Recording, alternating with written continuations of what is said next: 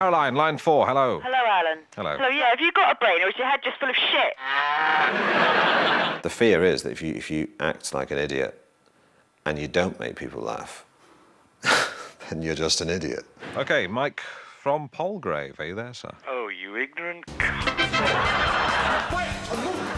Serving up excruciating slices of life, Partridge took sitcom by storm, confirming Steve Coogan as the king of cringe comedy and immortalising his most enduring character. Oh, God, cheese! This is cheese!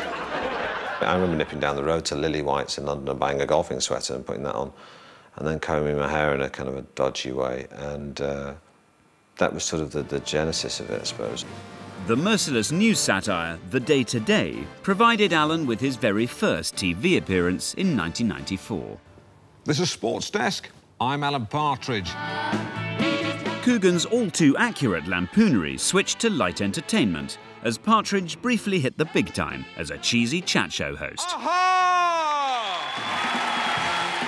There was the challenge for the writers and for Steve to take Partridge a little bit further and see what's next. I mean, could have done another series of chat shows, but in a way it was, it was more exciting to move on, I think.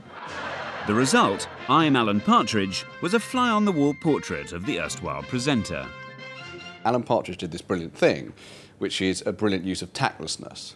It's like Alan Partridge is going to be that bloke who says exactly the most offensive thing, kind of, that's on his mind. What? What I'm saying is, that, like, they had themselves proper jobs, you know, for a gun till, then they wouldn't do it. You know, a lot of them's from broken homes. Sorry, that was just a noise. On set, he's just utterly focused. He just is Partridge. He doesn't come out of Partridge. When, we're- when we're uh, doing a recording, he is Partridge for the whole evening. That's it. And that really works because you have a kind of you have a kind of a reverence and a, and a bit of a, a wariness of him because he's Partridge. He's never Steve. You know the uh, breakfast buffet? Eat as much as you like, but from an eight-inch plate. See that? 12 inches.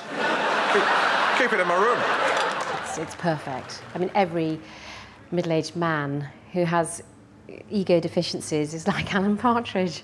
Well, I suppose what you're trying to say is you don't want another Chris Evans on your hands. No, that is what we want. I'm your man. Well, you had a kind of subtext throughout the whole thing, which was he wants to be back on TV. And that one thing he returns to is that nightmare sequence. I, I don't know who's responsible for the idea of the lap dancing. I thought, well, okay, this is, you know, it's brave, it's a departure. it's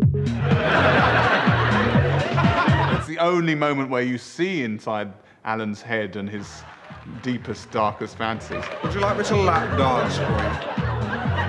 I want a second series. I like your thong. Yeah, it's vulcanized rubber, which means uh, it won't perish. Having kind of been in that situation of trying to sell a program to people, it's really tough. And you kind of just think that's what it is. You're whoring yourself to the big corporations.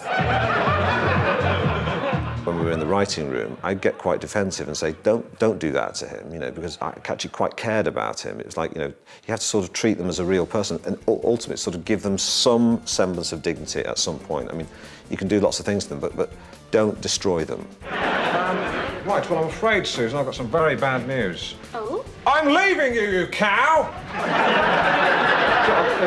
so it's a bit of a joke there, backfired. There is certain kind of pleasure of, thank God I'm not Alan Partridge, which is something most people can say. Uh, I can't.